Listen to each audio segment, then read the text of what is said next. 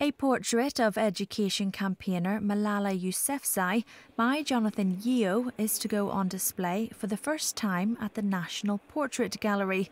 The 16 year old was attacked by gunmen in Pakistan in 2012 following her campaign for girls to have the right to attend school.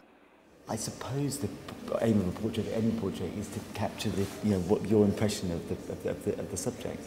Uh, and you know, obviously in this exhibition there's some very big characters and particularly people who've you know, spent their whole lives being the centre of attention.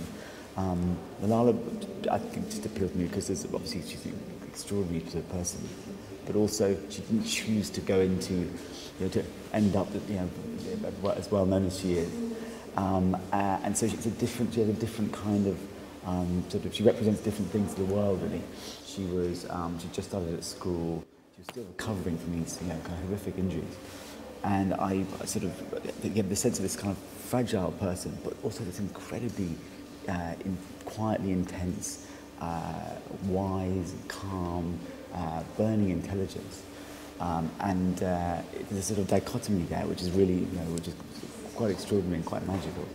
Malala was shot in the head on a school bus by Taliban gunmen. She was flown to Birmingham for treatment and now lives in the city.